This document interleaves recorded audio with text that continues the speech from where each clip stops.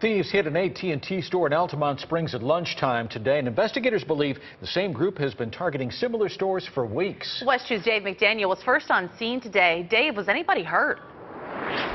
Well, thankfully, Meredith, nobody was hurt. No weapons were seen and no threats were made. But the authorities do believe that there is a group of people traveling around Central Florida, going from store to store, playing help themselves to the latest in technology. Altamonte Springs police used a smartphone to provide us with the video that they want everyone to study. Six young people come into the store initially looking to make a very common business deal. Started talking to them about transferring a phone from uh, one company to another. When the clerk asked for IDs, the young ladies walked outside, leaving the guys behind.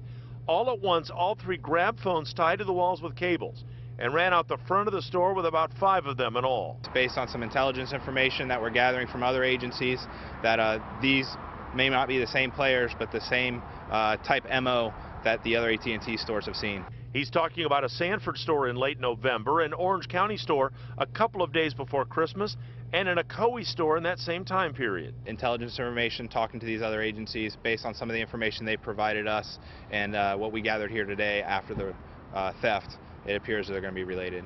Not all of the stores had the same video surveillance, so they want everybody to look at these people shown on camera just before the snatch and grab thefts. All six individuals did nothing to disguise themselves, so we're hoping somebody sees this video and places that phone call.